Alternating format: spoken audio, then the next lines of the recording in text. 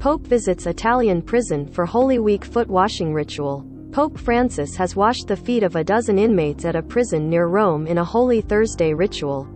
Rome. Pope Francis washed the feet of a dozen inmates at a prison near Rome in a Holy Thursday ritual that symbolizes humility and service and highlights his papacy's attention to those on society's margins. He arrived in a motorcade that included Italian police cars at the prison in Civitavecchia, a port city, 80 kilometers, 50 miles northwest of Rome. The ritual was closed to the public for security reasons and to protect the privacy of the inmates. But afterwards, the Vatican said the Pope performed the foot washing, following Jesus' example, in a sign of love inspired by love, aimed at service and humility. The 12 inmates included men and women of various ages and of different nationalities, it said. Symbolizing the number of Jesus' apostles, the 12 sat on chairs on a raised platform. The pontiff washed, dried, then kissed the feet of each of the inmates, all who were wearing masks against the spread of COVID 19. Some inmates leaned over to kiss the Pope's hands in gratitude. In the prison chapel, the Pope celebrated a mass attended by inmates, some prison staff and Italy's justice minister, the Vatican said in a statement. The Vatican did not say what accommodations might have been made to enable the Pope, who has been hobbled of late by a knee ligament problem, to perform the foot washing ceremony.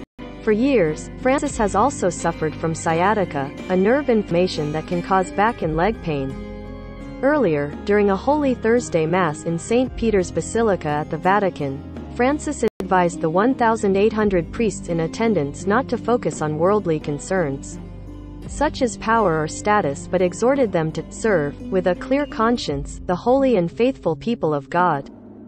Francis made no reference to decades of scandals involving Catholic priests who sexually abused children and were often transferred from parish to parish by bishops who tried to avoid embarrassment rather than protect minors. During the Holy Thursday Mass, large urns of oil are blessed for use in ceremonies in churches in the Rome area.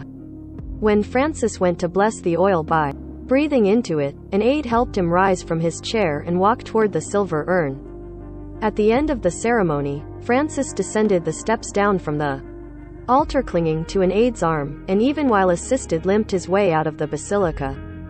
Holy Week, which draws hundreds of thousands of faithful to the Vatican, began with Palm Sunday Mass on April 10 in St. Peter's Square and culminates this Sunday at Easter, when the faithful mark the resurrection of Jesus. This year, the Good Friday torch lit Way of the Cross procession in Rome returns to its traditional venue at the ancient Colosseum after a two-year absence due to the coronavirus pandemic. The Vatican has invited a Russian woman and a Ukrainian woman, who worked together at a Rome hospital, to carry a cross together during the procession. That has angered some Ukrainians, including the country's ambassador to the Holy See and the Archbishop of Kiev.